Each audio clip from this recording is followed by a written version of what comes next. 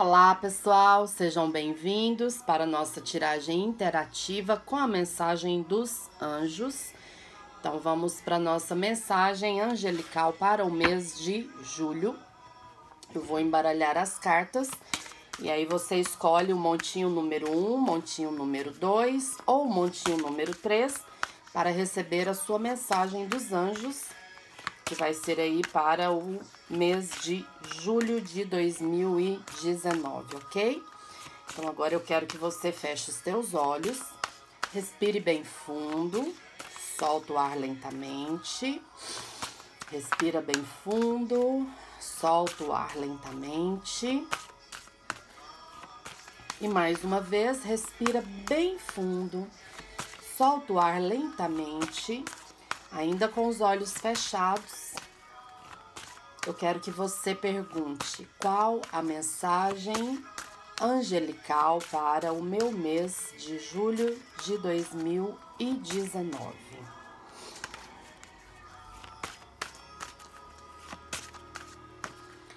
Agora eu vou fazer o corte e você vai escolher número 1, um, número 2 ou número 3 para sua resposta, para sua mensagem dos anjos para este mês, ok? Então vamos lá, número um, número dois e o número três. Número um, número dois ou número três. O número que vier primeiro à sua mente é esse número que está a sua resposta, tá bom? Montinho número 1, um, número 2 e o número 3. Vamos lá? Então, você que escolheu o montinho número 1, um, a mensagem para você é a criança interior. Eu vou ler esta mensagem, preste bastante atenção porque ela vai aí ressoar com o seu mês, ressoar com a sua energia e vai te trazer uma orientação bem importante aí para você no decorrer desse mês de julho, ok?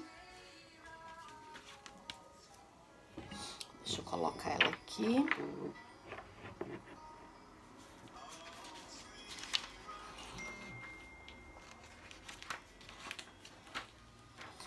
Diz assim: Dentro de você, agora mesmo, vive uma criança. A criança que você foi um dia. Você consegue se lembrar dela?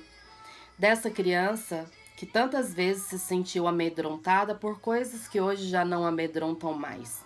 Uma criança que tinha sonhos, os quais você talvez tenha se esquecido, que olhava para o mundo com uma pureza comovente, uma alegria contagiante. Muitas vezes, na medida em que vamos envelhecendo, Acabamos nos afastando dessa criança, nos esquecendo da sua voz suave, abandonando-a em algum caminho esquecido do nosso coração. Outras vezes, para nos adaptarmos às infindáveis solicitações da vida moderna, assumimos que a criança nos deixa vulneráveis demais e a encarceramos atrás de grades fortes e frias, tornando-nos rígidos e duros muitas vezes surdo ao choro motivado pelo sentimento de abandono que vem de dentro de nós. Mas uma coisa é verdade: nunca seremos plenamente felizes se não resgatarmos a nossa criança. Não importa onde ela esteja, precisamos mergulhar dentro de nós mesmos e tomá-la em nossos braços.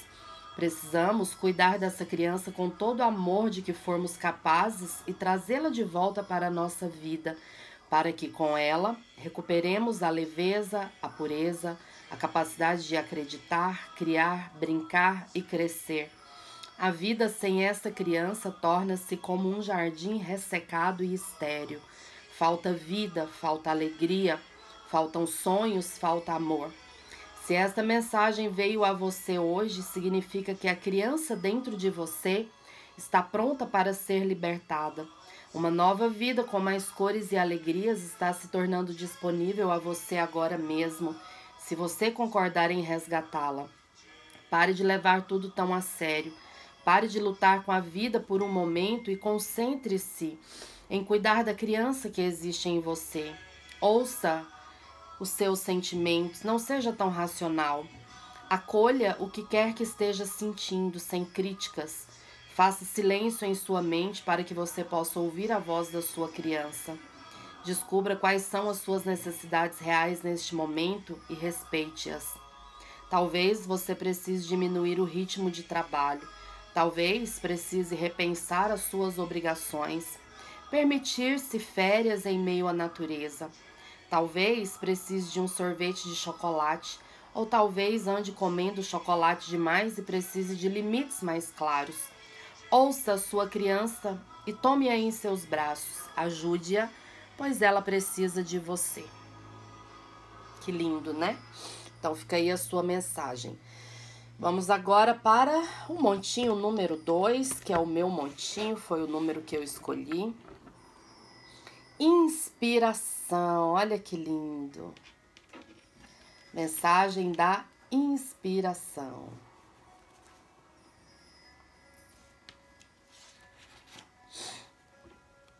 Deixa eu colocar ela aqui. Eu acho bonito pensar que cada um de nós, como uma grande semente sagrada, possui em seu íntimo o potencial para criar o mais belo dos mundos. Nós somos os instrumentos por meio do qual o universo cria.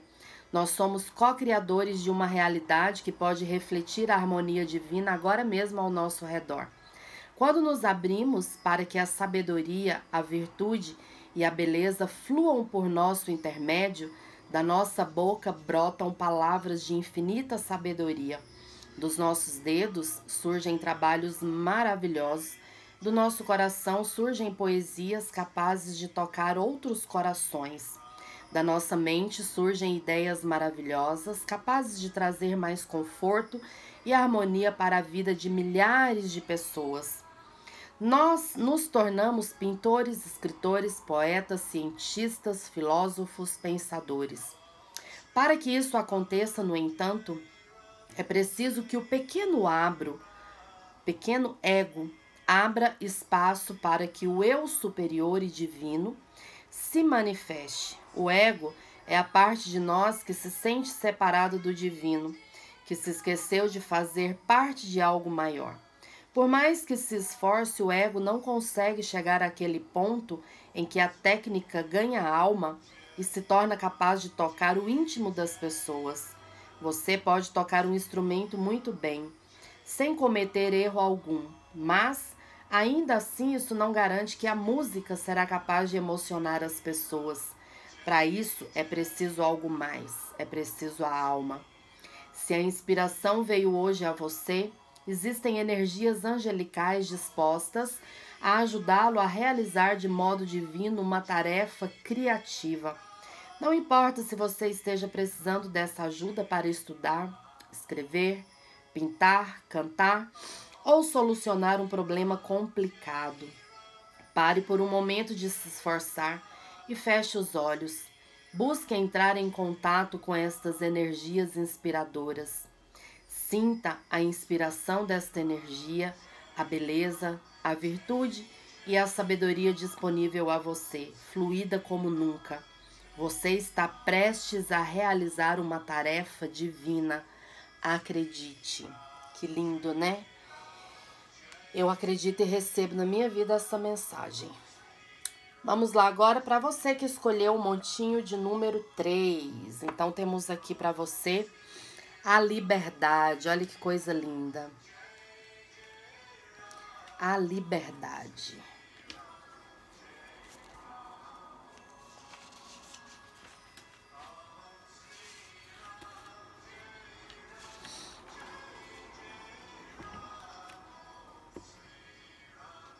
A cada um de nós pertence o mais belo par de asas que poderia existir.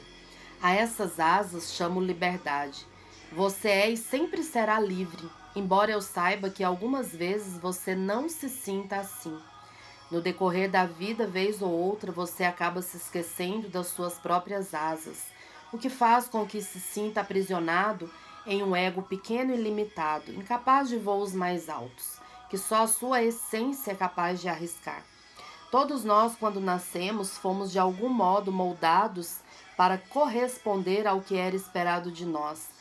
Tivemos as nossas asas cortadas para que não voássemos longe demais. Mas, como seres divinos que somos, nossas asas sempre voltam a crescer. São elas que nos impulsionam a ir além das fronteiras que o mundo nos impõe. São as nossas asas que nos convidam a arriscar, a acreditar e a confiar. São as nossas asas que nos empurram na direção do novo e nos pedem para acreditar na nossa capacidade de superar limites. São as nossas asas e somente elas que nos dizem o quanto somos livres para voar. Se a liberdade veio convidá-la hoje a um voo, comemore, torne-se cego para tudo aquilo que você vê ao seu redor e aprenda a olhar para dentro de si mesmo. Torne-se surdo para o que lhe dizem as pessoas e ouça apenas a voz da sua própria alma, que neste exato momento sussurra suavemente em seus ouvidos, incentivando-o a acreditar-se capaz de voar. Esta carta veio hoje trazer a mensagem de que você é poderoso o suficiente para se libertar de qualquer situação limitadora que você esteja vivendo ultimamente. Chegou o momento de descobrir a sua própria força transformadora e mudar o que vem te aprisionando. A liberdade veio hoje lhe dizer que, se você vem ensaiando um voo ultimamente, chegou o momento de abrir mão do medo, sacudir as suas asas e arriscar. Este é o seu momento. Liberte-se, liberte-se, liberte-se. Gratidão. Espero que vocês gostem. Um beijo enorme no coração de todos. Fiquem com Deus e até a próxima. Tchau, tchau.